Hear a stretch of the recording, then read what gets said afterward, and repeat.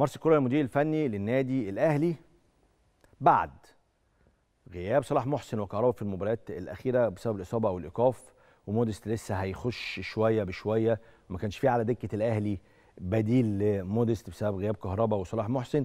بدأ مارسيل كولر يفكر مع لجنة التخطيط في النادي الأهلي لضم مهاجم أجنبي آخر تحت السن خلال فترة الانتقالات الشتوية القادمة عشان يحل الأزمة اللي ما زالت قائمة في هجوم النادي الأهلي. ما زالت. ولما بقول أزمة ما زالت قائمة في هجوم النادي الأهلي أنا بتكلم على أزمة في مركز المهاجم. في مركز المهاجم بس مش هجوم النادي الأهلي. هجوم النادي الأهلي في آه، المباريات الأخيرة في خمس مباريات أخيرة جاب 17 هدف بمعدل أكتر من ثلاث أهداف في المباراة الواحده ده الهجوم ده الخط الهجومي. تمام؟ كمان بكلمك على المهاجم الصريح. لسه الأهلي مودست الأهلي متوسم فيه خير إنه يخش وتبقى حالته البدنية جيدة فيقدم مستويات كبيرة.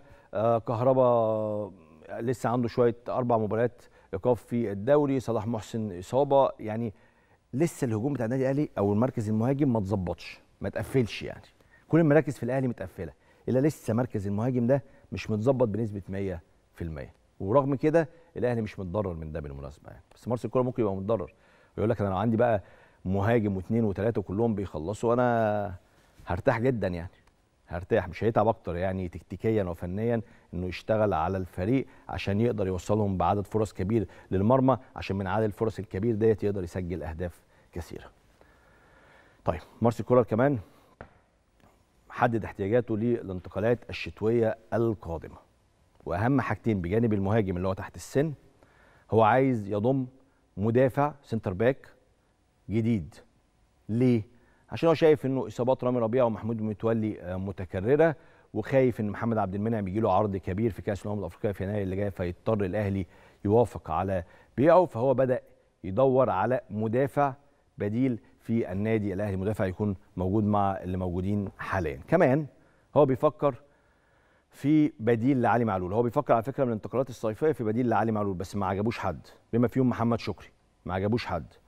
فهو هيبدأ يبص تاني على لاعب يكون بديل لعلي معلول الفترة اللي جاية. طبعا علي معلول بيقدم مستويات رائعة مع النادي الأهلي بس طبعا بيبقى محتاج راحة تقدم العمر ممكن الموسم اللي جاي تبقى أنت محتاج على طول معاك بديل. كل الأمور دي بتخليه طول الوقت باصص على ظهير أيسر مدافع ومهاجم أجنبي تحت السن. دي طلبات مارسيل كولر في يناير. بصراحة مارسيل كولر بيطلب ويتمنى والأهلي بينفذ. إدارة النادي الأهلي بتنفذ. كمان النادي الأهلي في الوقت الحالي ارتباطا بما سبق من حديث قلناه لحضراتكم بدأ يترقب موقف أسامة جلال مع بيراميدز. ليه؟ أسامة جلال عقده ينتهي مع بيراميدز بنهاية الموسم الحالي يعني يحق له التوقيع في يناير.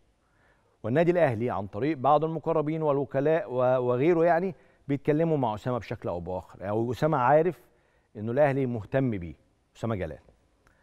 بس في نفس الوقت بيراميدز شغال شغال بقوة إنه يجدد تعاقد اللاعب. عشان كده الأهلي من بعيد بيراقب هل بيراميدز هيخلص مع اللاعب هل بيراميدز هيجدد تعاقده مع أسامة جلال ولا مش هيعرف يعمل ده فساعتها الأهلي يخش وياخد اللاعب. هتقول لي اللاعب رغبته إيه؟ هقول لك بحسب معلوماتنا آه رغبته لو آه عقده خلص مع بيراميدز إنه ينتقل للنادي الأهلي.